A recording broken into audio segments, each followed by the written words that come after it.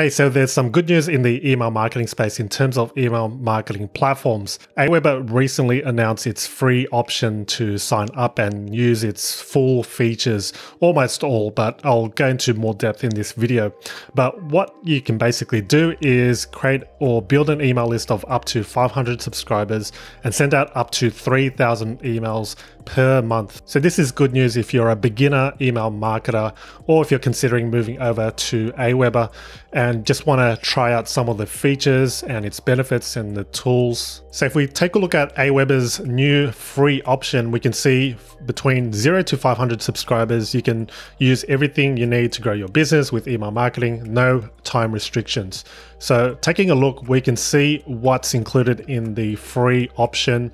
What you don't get more advanced features such as email split testing, behavioral automation, branded click tracking links and the ability to remove Aweber branding.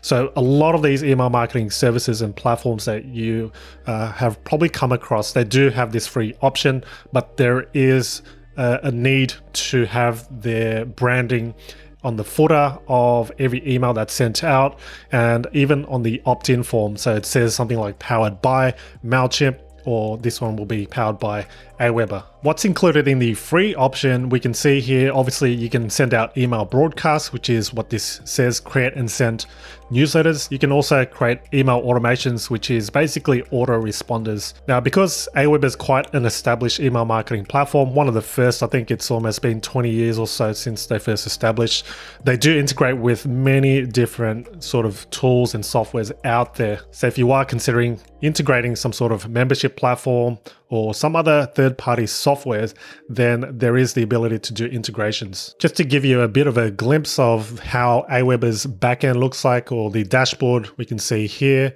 Under messages, we can see we can create broadcast messages, split test campaigns, blog broadcasts, email template manager. So under subscribers, these are the basic things sign up forms. You can also create sign up forms for your blog or website, landing pages as well. So they give you the full features of creating landing pages, but there is a powered by Aweber. So that's a caveat there. So this is a neat little feature. If we create a landing page, there's plenty of templates to choose from. They don't really restrict you. As you can see on the pricing page, on the landing pages, unlimited landing pages. So there's no restrictions in terms of how many landing pages you can create on the free plan.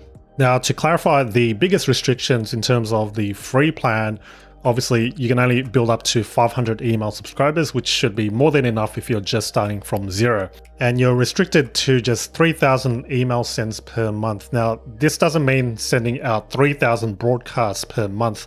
This means that if you do have an email list of up to 500 email subscribers, and let's say you send the broadcast to that full 500 subscribers, then you can send out maybe six times per month, uh, totaling 3,000 emails. And the last restriction is the list profiles. So you can only create one email list.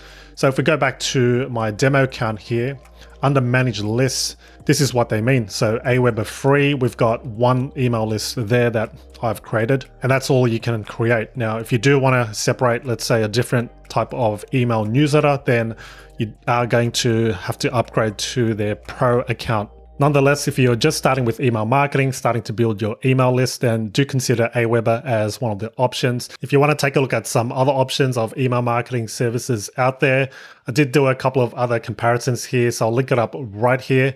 And if you do want to also see some paid options, then yeah, I'll link it up somewhere here as well.